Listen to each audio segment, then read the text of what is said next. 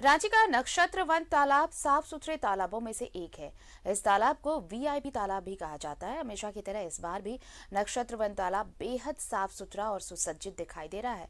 इस तालाब के छठ घाटों का जायजा लिया है हमारे सहयोगी शाहनवाज अख्तर ने।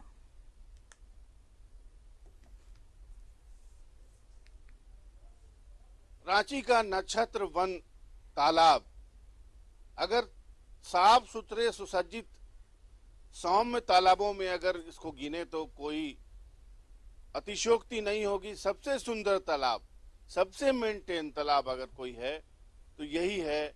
आप देख सकते हैं इसकी सीढ़ियाँ भी मेंटेन है, साफ़ सुथरी भी हैं, कजली और काई से भी दूर है, और जहाँ तक पानी का सवाल है, पानी भी साफ़ सुथरा है।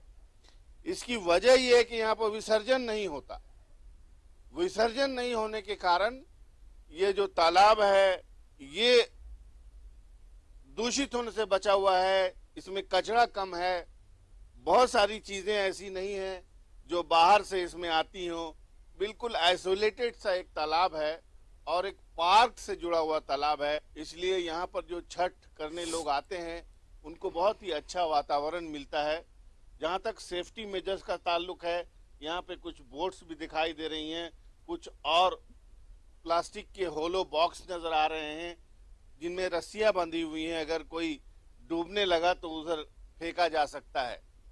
वैसे ज़्यादा संभावना ये होती है कि राजभवन में अगर कोई छठ करे या राजपाल छठ करे तो वो यही छठ कर सकते हैं। ये एक डेडिकेटेड पॉइंट है, जिसकी वजह से यहाँ पर बहुत अच्छी सुरक्षा भी रहती है और बहुत ही अच्छा माहौल भी रहता है। तो इस बार भी उम्मीद की जानी चाहिए क्योंकि राज्यपाल नए हैं। हो सकता है कि अगर वो छठ करते हैं वो तो यही छठ करेंगे।